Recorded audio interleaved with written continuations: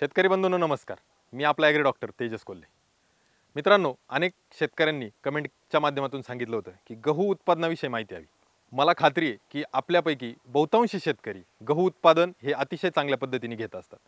आणि सगळ्यात महत्त्वाचं महाराष्ट्राचा विचार करता गव्हाचं उत्पादन घेण्यामागचा जो उद्देश आहे तर कोणालाही गहू विक्रीतून किंवा गव्हाचं उत्पादन जास्त करून आपल्याला जो काही नफा कमवायचा आहे तो उद्देश नसतो.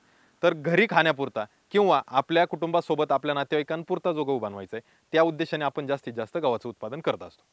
मित्रांनो या व्हिडिओच्या माध्यमातून आपण आज जाणून घेऊया की एक एकर गहू लागवडीतून आपण दोन एकर गव्हाचं उत्पादन कसं घ्यायचं? म्हणजे काय? तर आपण जी लागवड करत आहात त्याच्यापेक्षा निम्म्याच क्षेत्रात आपण गहू लागवड करूया आणि उत्पादन जेवढं दरवर्षी लागवड करताय त्या क्षेत्रात इतकं उत्पादन घेऊया.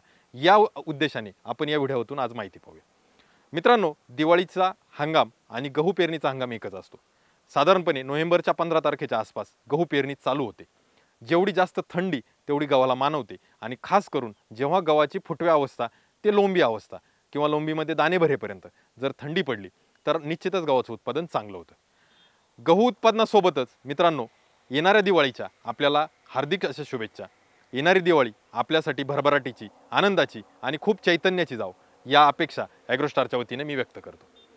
मित्रांनो गहू उत्पादन करत असताना सगळ्यात महत्त्वाचं जे आपण जमिनीची मशागत केली असेल बहुतांशी शेतकऱ्यांची चालू असेल परतीचा जो मान्सून आहे तो बऱ्यापैकी ठिकाणाहून निघून गेलाय.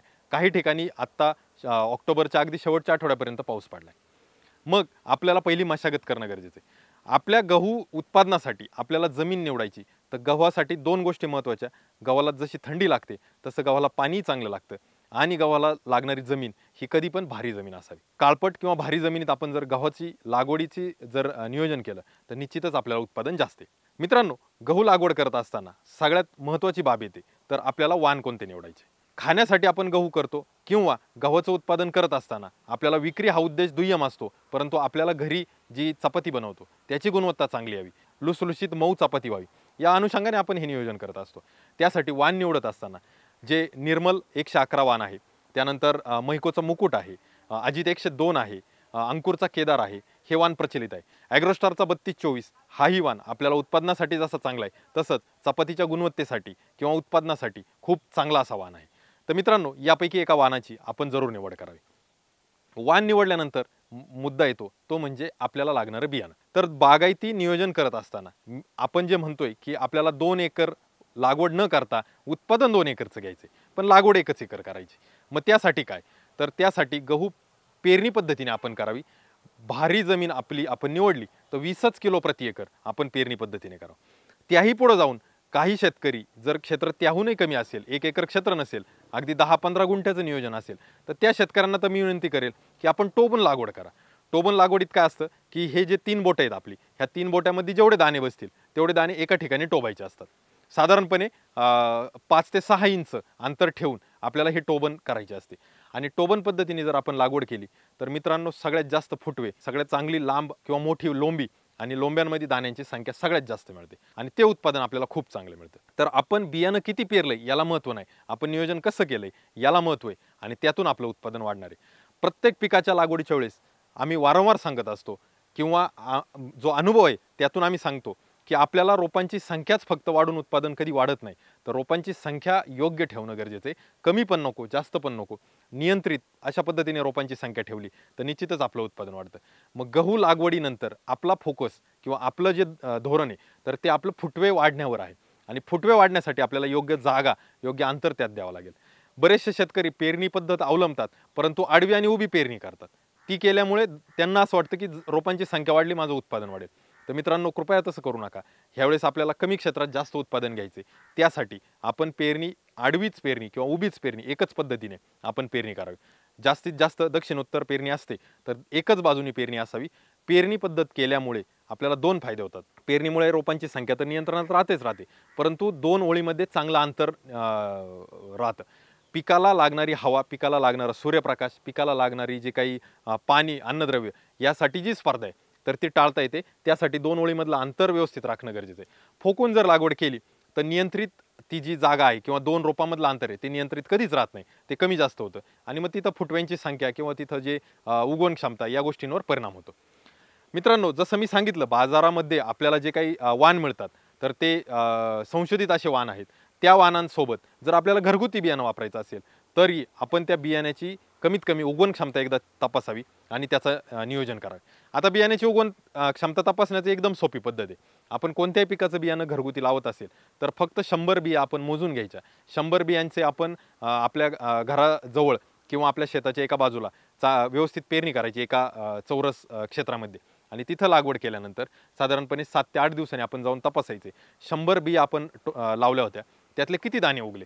सत्तर ऐंशीपेक्षा जास्त दाणे जर उगले असतील किंवा रोपं जर आपल्याला दिसत असतील तर ते बियाणं आपल्याला पेरणीसाठी योग्य आहे आणि त्याची पेरणी केल्यानंतर आपल्याला उत्पादन येऊ शकतं. परंतु जर आपल्याला सत्तरपेक्षा कमी दाणे उ- उगवण झालेली जाणवत असेल तर आपण ते बियाणं टाळावं आणि मग अशा परिस्थितीमध्ये आपण बाजारातून एखाद्या कंपनीचं चांगलं वाण आपण आणून त्याची पेरणी करणं संयुक्तिक राहील. कारण का? तर आपण गावासाठी इतक्या मोठ्या प्रमाणात पाणी देत असतो. इतकी वेळ किंवा इतका कालावधी त्यासाठी खर्च करत असतो. तर उत्पादनामध्ये आपल्याला अजिबात तडजोड होऊ नये. या उद्देशाने आपल्याला हा प्राथमिक टप्पा बियाण्याची उगण क्षमता तपासणं हाही करणं खूप गरजेचं आहे. आणि गहूच नाही तर इतर सर्व पिकांच्या बाबतीत हे लागू होतं. आपल्या भागामध्ये कोणती प्रचलित वाणी हे कमेंटच्या माध्यमातून आम्हाला जरूर सांगा. आणि तो प्रचलित वाण आपण लागवड करत असताना आपल्याला त्याच्यातून काय फायदे झाले? म्हणजे उत्पादन चांगलं मिळणं किंवा चपातीची गुणवत्ता सुधारणं? यापैकी आपण कोणता फायदा तो वाण लागवडीच्या पाठीमागे दृष्टिकोन ठेवलाय? तेही कमेंटच्या माध्यमातून जरूर सांगा. जेणेकरून इतरही शेतकऱ्यांना त्याविषयी माहिती मिळेल. आता मित्रांनो आपल्याला नक्की प्रश्न पडला असेल की बियाण्याची संख्या एवढी कमी केली वीस किलो किंवा टोबून अगदी दहा बारा किलो आपण सांगतोय. तर मग आपलं उत्पादन कसं वाढेल?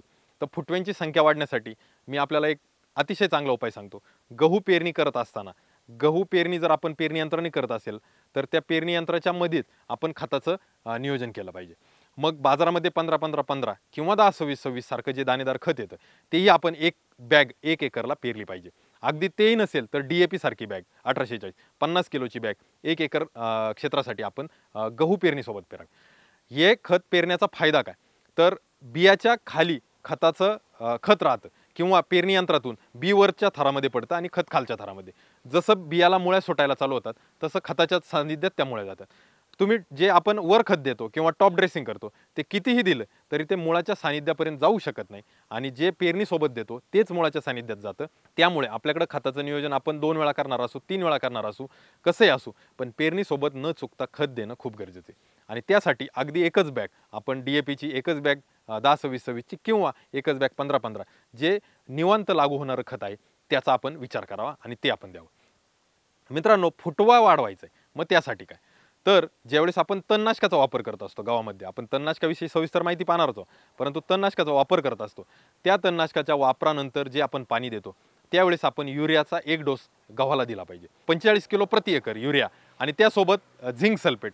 किंवा युरिया आपल्याकडे उपलब्ध नसेल तर महादनचं जे चोवीस चोवीस शून्य आहे, तर ते खत पन्नास किलो प्रति एकर आपण जर दिलं तर निश्चितच नत्रयुक्त खतांचा वापर ज्यावेळेस फुटव्या अवस्थेमध्ये आपण करतो त्यावेळेस प्रचंड असे फुटवे गव्हाला आपल्याला दिसतील आणि त्या फुटव्यांची संख्या आपण जर वाढवली तर निश्चितच आपल्याला उत्पादन वाढेल. त्यामुळे मनातून ही भीती गव्हाचा बियाण्याचा दर आपण कमी केला आहे बियाण्याचे वाचवलेले पैसे आपण खतामध्ये टाकलेत आणि खत वा संतुलित अन्नद्रव्याचा वापर केल्यामुळे आपलं उत्पादन नक्कीच वाढले आता काहींना असंही वाटेल की घरगुती लागवडीसाठी घरच्या खाण्यासाठी तर रासायनिक आपण वापरायला नको. तर मित्रांनो रासायनिक खतं तुम्ही जी वापरता तर ती खतं जमिनीत गेल्यानंतर असंख्य अशी त्याच्यावर प्रक्रिया होते आणि त्यानंतरच ती पिकाला मिळतात. त्यामुळं रासायनिकतेचा परिणाम आपल्या पिकावर किंवा आपल्या गव्हाच्या दर्जावर चुकूनही होणार नाही. कमीत कमी त्या खतांच्या बाबतीत अन्नद्रव्यांच्या बाबतीत. जे कीटकनाशक बुरशीनाशक फवारणी करता ते तुम्ही टाळू शकता. जर आपल्याला घरगुती खाण्यासाठीच आणि आपल्याला जे म्हणतो ना रेसिड्यू फ्री किंवा त्यामध्ये असणारं जे विषमुक्त धान्य पिकवायचे तर त्या परिस्थितीमध्ये आपण त्याचा विचार करू शकता.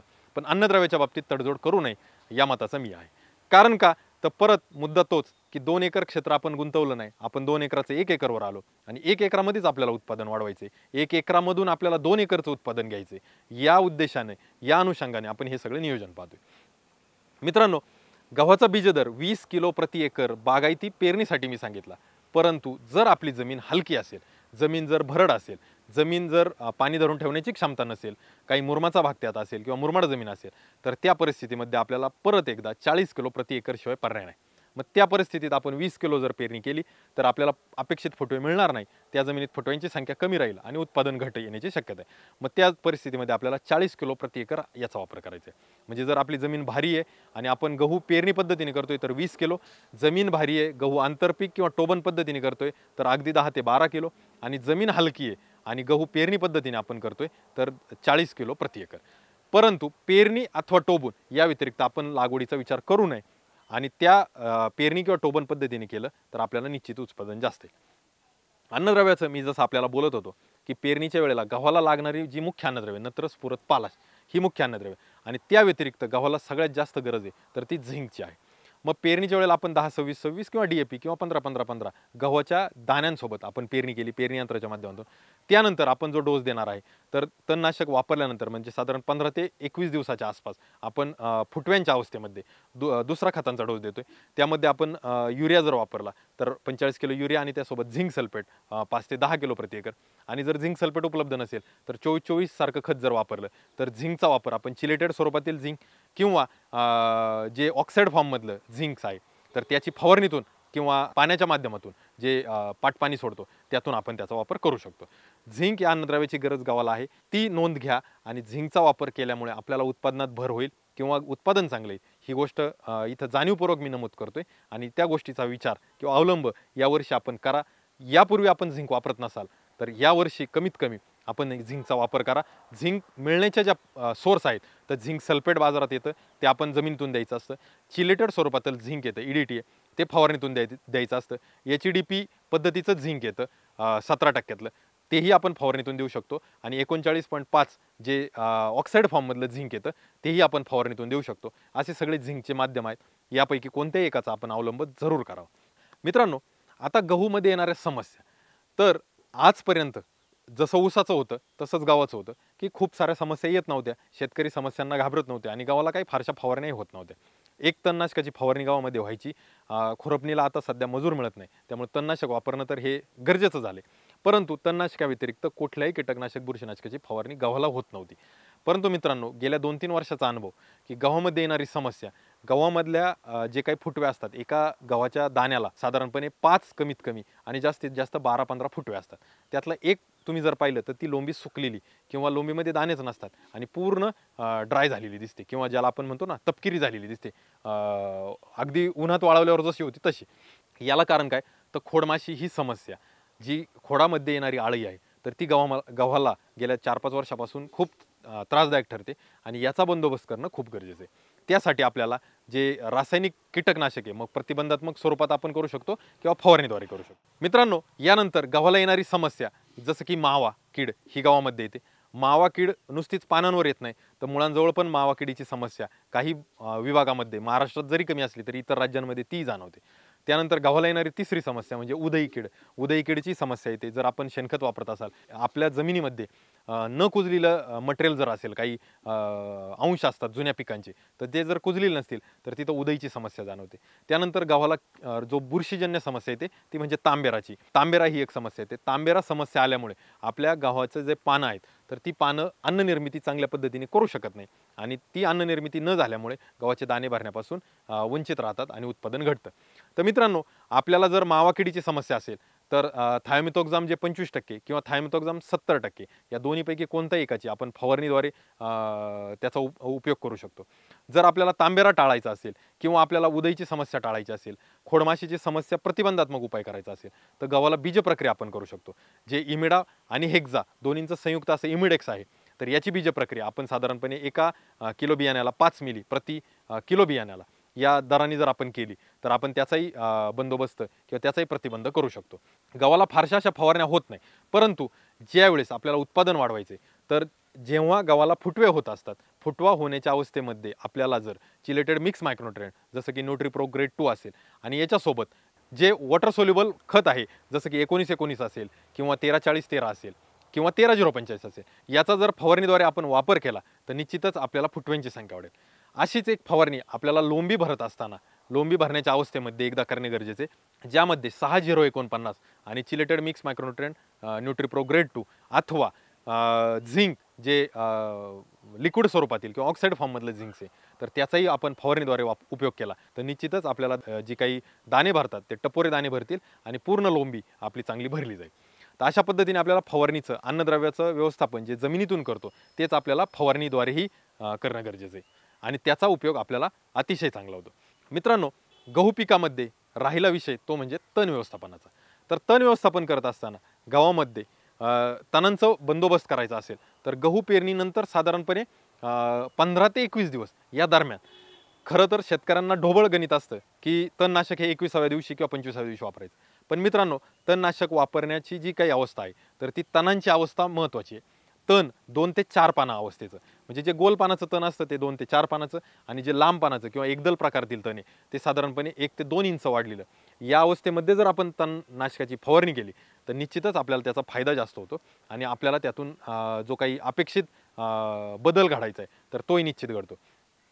तणनाशक वापरत असताना दोन तीन भ्रम आहेत. त्याविषयी इथं माहिती देणं मी थोडंसं महत्त्वपूर्ण समजतो. ते असं की कोणत्याही पिकाला तणनाशक वापरत असताना शेतकऱ्यांना भीती असते की तणनाशक वापरल्यानंतर त्या पिकाला स्ट्रेस येईल का? तर मित्रांनो जर निवडक प्रकारातील तणनाशक त्या पिकावर जे सांगितलंय तेच. म्हणजे गहू पिकासाठी गव्हाचं तणनाशक कांदा पिकासाठी कांद्याचं तणनाशक भात पिकासाठी भाताचं तणनाशक सोयाबीनसाठी सोयाबीनचं तणनाशक ज्या पिकावर जे तणनाशक सांगितलंय तेच जर तुम्ही वापरत असाल तर ते निवडक प्रकारातील तण नाशक आहे. ते तुमच्या पिकाला काही धोका निर्माण नसतो. फक्त आपल्याला सांगितलेला डोस आणि सांगितलेल्या वेळेत त्याची फवारणी करायची. मग ती मनातून भीती एकदा तुम्ही काढून टाका. योग्य तणनाशक निवडा. त्यामुळे पिकाला कुठलाही स्ट्रेस येत नाही. बरेचसे शेतकरी काय करतात? तणनाशक ची निवड करतात आणि ह्या भीतीपोटी त्या तणनाशकामध्ये कोणतं तरी पीक पोषक किंवा कोणतं तरी टॉनिक मिक्स करतात. तर मित्रांनो तसं करू नका. ते केल्यामुळे आपलं तण नियंत्रण प्रभावीपणे होईल याची शाश्वती नाही आणि ते तो धोका आपल्याला येऊ शकतो. मित्रांनो जर आपल्याला खूप भीती असेल की तणनाशक वापरामुळे आपल्या पिकावर ताण आला तर तो ताण घालवण्यासाठी उपाय आपण करू शकतो.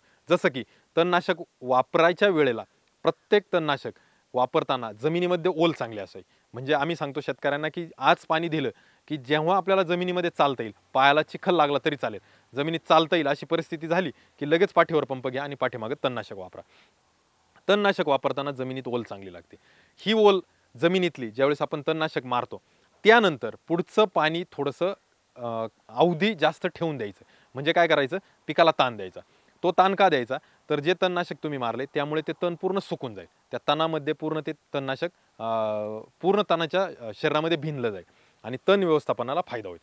मग दुसरं पाणी जे ते ताण देऊन केलं. त्यानंतर जे आपण जे पाणी देतोय म्हणजे पाण्याच्या दोन पाण्यामधलं अंतर दरवेळेला आठ दिवसाचं असेल किंवा दहा दिवसाचं असेल तर तणनाशक वापरल्यानंतर तो आठ दिवसाचं पाणी आपण दहा दिवसांनी किंवा दहा दिवसाचं पाणी बारा दिवसांनी द्यायचं. म्हणजे दोन तीन दिवसाचा गॅप वाढवायचा तो वाढवत असताना त्या तणनाशक त्या पाण्यासोबत आपल्याला पॉवर जेलसारखं जे एक पीक पोषक आहे ते पाण्यातून सोडू शकतो. तेही आपण देऊ शकतो एकरी पाचशे ग्रॅम. किंवा आपल्याकडे जे काही खत असेल मग आपल्याकडं युरिया चोवीस चोवीस सारखं जे पण खत असेल जे लवकर लागू होणार आहे तर ते आपण अगदी काहीच नाही तर दहा ते पंधरा किलो आणि जर आपल्याला योग्य डोस द्यायचा असेल तर एक बॅग एकरी आपण फोकून देऊ शकतो आणि पाठीमागं पाणी देऊ शकतो. मित्रांनो जर असं व्यवस्थापन आपण केलं तर आपलं तणही चांगलं नियंत्रणात येतं आणि त्यासोबतच आपल्याला जे काही पिकाला जो येणारा ताण आपल्या मनात जी भीती तर तीही यातून संभवत नाही. आणि आपल्या पिकाचं उत्पादन किंवा पिकाचा जो जोम आहे तो कधीही कमी होत नाही आणि चांगल्या पद्धतीने तण नियंत्रण होऊन पीक आपलं व्यवस्थित येतं.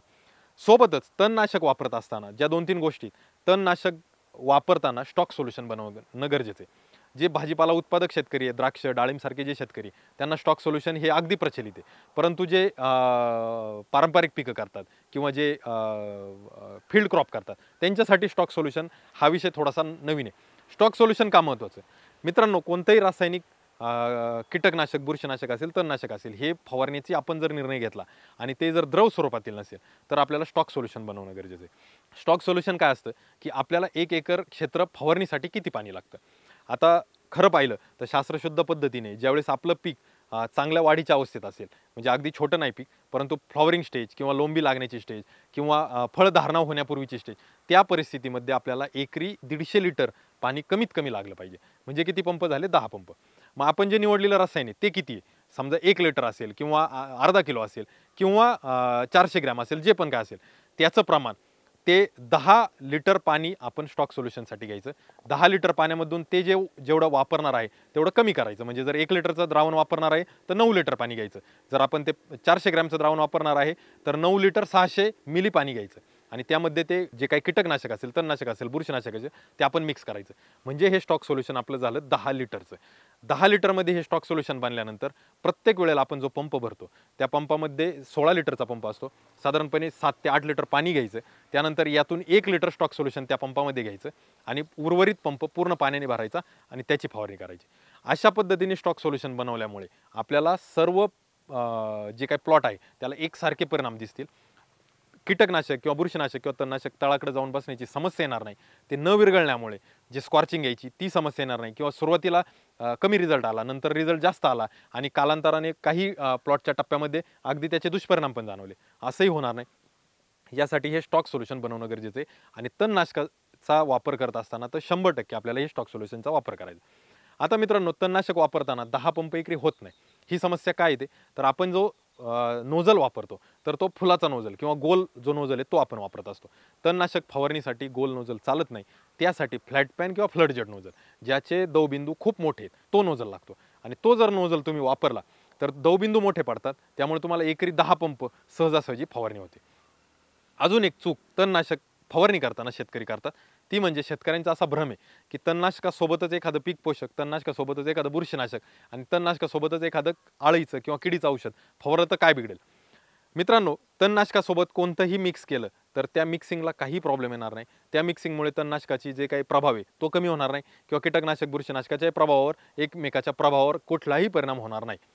परंतु एक गोष्ट लक्षात घ्या तणनाशकासोबत तुम्ही हे काही मिक्स कराल तर तुमचं तणनाशक फवारण्याची जागा आणि कीटकनाशक बुरशीनाशक किंवा इतर काही पीक पोषक आहे ते फवारण्याची जागा. म्हणजे ज्याला आपण टार्गेट म्हणतो ते बदलतं. तणनाशक हे आपल्याला जमिनीवर फवारायचं असतं. आपला जो प्लॉट आहे एक एकरचा त्रेचाळीस हजार पाचशे साठ स्क्वेअर फीट जागा आहे. तर ती जमिनीवर मारायचे ते तणनाशकाचं द्रावण मारायचे आणि कीटकनाशक असेल बुरशीनाशक असेल किंवा पीक पोषक असेल हे आपल्याला पिकावर मारायचे मग ते गहू पीक असेल किंवा कोणतंही पीक असेल. ज्यावेळेस तणनाशक आपण जमिनीवर मारत असतो त्यावेळेस जर त्याच्यात कीटकनाशक बुरशीनाशक मिक्स केलं तर आपल्याला त्याचे परिणाम पिकावर पाहिजे तसे मिळणारच नाही.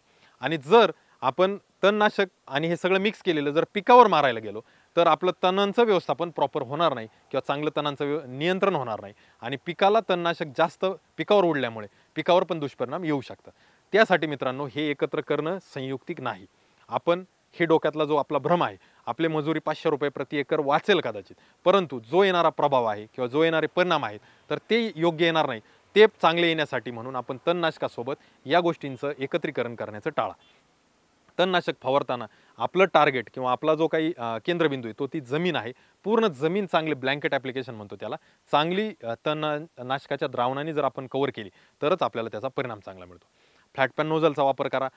जमीनमध्ये ओल चांगले असू द्या आणि शक्यतो तणनाशकाची फवारणी सकाळच्या वेळेला घ्या जेणेकरून दिवसभराचा जो सूर्यप्रकाश आहे त्यामुळे जमिनीमध्ये किंवा त्या तणांद्वारे ते तणांचं जे काही शोषण आहे ते चांगल्या पद्धतीने होईल आणि नियंत्रण चांगलं मिळेल. मित्रांनो आता गहू पिकासाठी आपल्याला तणनाशक निवडायचे तर गहू पिकासाठी जे उभ्या पिकामध्ये चालणारं तणनाशक आहे तर सगळ्यात जे जुन्या पारंपरिक कालावधीपासून चालत आले आणि खूप प्रचलित आहे ते म्हणजे मेट सल्फ्युर मिथिल जसं की ॲग्रोस्टारचं मेट्रो. फक्त आठ ग्रॅम प्रति एकर हा याचा डोस आहे. मित्रांनो आठ ग्रॅम प्रति एकर आपण पंपामध्ये वेगवेगळं कसं करून वापरणार हाही महत्त्वाचा प्रश्न आहे. त्यासाठी म्हणून आपल्याला स्टॉक सोल्युशन गरजेचं आहे.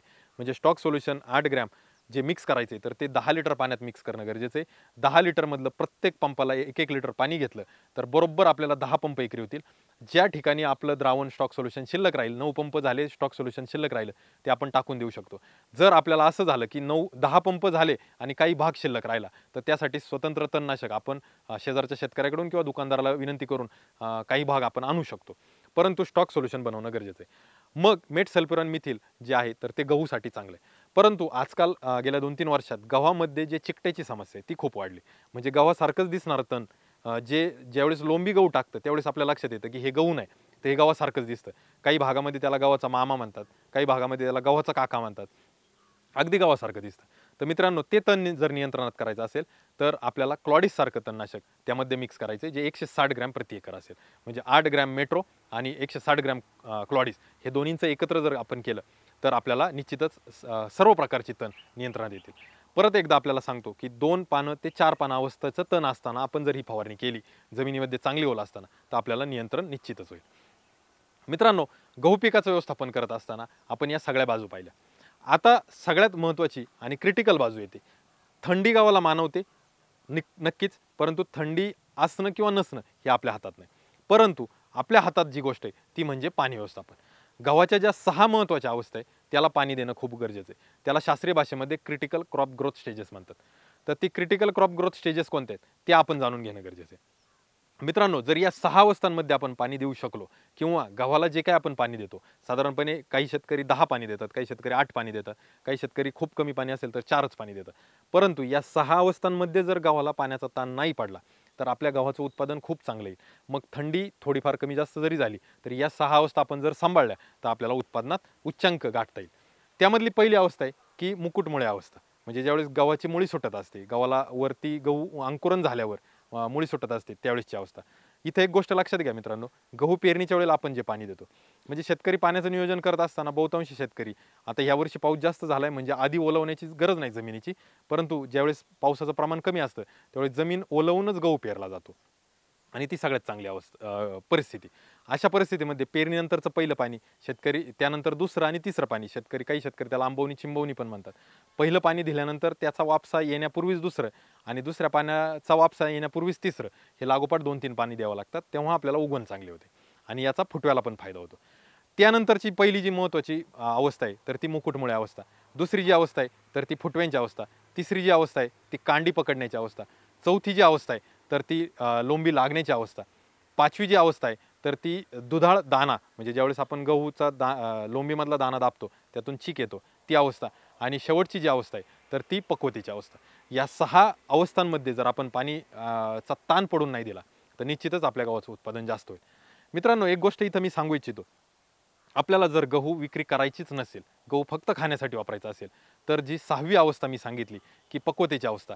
त्या पक्वतेच्या अवस्थेमध्ये आपण जर दोनदा पाणी दिलं तरी त्या गव्हाची गुणवत्ता आपल्याला चपातीसाठी खूप चांगली आहे. म्हणजे पक्वता अवस्थेमध्ये जर जास्त पाणी झालं तर चपातीची गुणवत्ता निश्चितच वाढते. पण याचा दुष्परिणाम की गव्हाचा रंग डाऊन होतो. रंगात जो आहे तर तो फेंट होतो किंवा तो डल होतो. तो रंग जर डल होऊन द्यायचा नसेल तर पक्वता अवस्थेत एकदाच पाणी द्या. जर आपल्याला गव्हाची विक्री करायची तर पक्वता अवस्थेत एकच पाणी. आणि जर गहू फक्त आणि फक्त घरीच खाण्यासाठी चपाती आपली न नरम राहावी किंवा मऊ राहावी या उद्देशाने करायचं आहे तर आपल्याला पक्वत अवस्थेत दोनदा पाणी देणं गरजेचं आहे. एकदा का पूर्ण शेत आपलं वाढलं की त्यानंतर पाणी देण्याची गरज नाही आणि गहू झाडण्यापूर्वी मग आपण तो कापणीच्या माध्यमातून किंवा थ्रेशर जो येतो तर त्याच्या माध्यमातून गहू मळणी करणं गरजेचं आहे. मित्रांनो हे जर पाण्याचं व्यवस्थापन आपण जर व्यवस्थित ठेवलं तर निश्चितच आपल्याला उत्पादन जास्त येईल. गहू पिकाविषयी आपल्याला ही माहिती कशी वाटली ती कमेंटच्या माध्यमातून आपण जरूर आमच्यापर्यंत पाठवा. जेणेकरून आम्हाला आपल्या जे काही आपल्यापर्यंत जी माहिती घेऊन येत असतो यामध्ये कुठले बदल करायचे यामध्ये काही सुधारणा करायची तीही आम्हाला कळेल. आणि मित्रांनो हा व्हिडिओ आपल्याला आवडल्यास नक्कीच आपण इतर शेतकरी बांधवांना आपल्या मित्रांना व आपल्या नातेवाईकांना जे गहू उत्पादक शेतकरी त्यांना जरूर शेअर करा. व्हिडिओ शेअर केल्यामुळे त्यांच्यापर्यंत ही माहिती जाईल आणि ही माहिती त्यांच्यापर्यंत गेल्यास निश्चितच उत्पादनात फायदा होईल. मित्रांनो या गहू पिकासारखेच इतरही पिकांची आपल्याला जर माहिती हवी असेल तर त्याही कमेंटच्या माध्यमातून आमच्यापर्यंत पाठवा. ती माहिती आमच्या आपण ॲग्रोस्टार यूट्यूब इंडिया चॅनलच्या माध्यमातून आपल्यापर्यंत आणण्याचा आम्ही निश्चितच प्रयत्न करू. धन्यवाद मित्रांनो. गहू उत्पादनासाठी आणि दिवाळीसाठी परत एकदा शुभेच्छा. धन्यवाद.